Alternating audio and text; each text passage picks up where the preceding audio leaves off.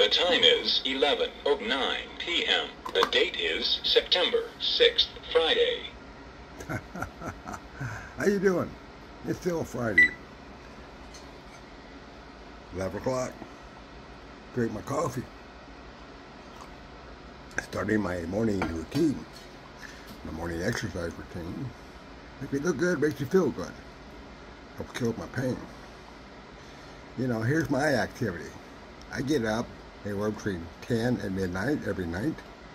A couple hours of exercises, stretching, meditation, a nice long shower, get up, go for a walk, uh, decide what I want to eat, cook breakfast, go down visit the boys and girls.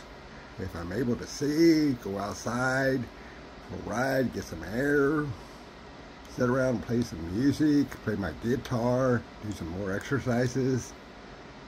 Hmm.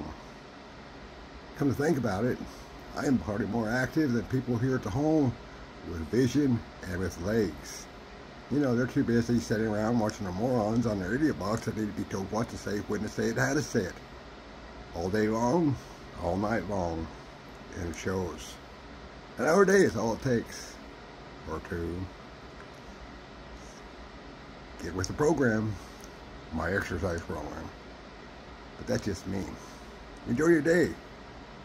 Remember this, a healthy body is just as important as a healthy mind. When 80% of Americans have a weight problem, well, I don't.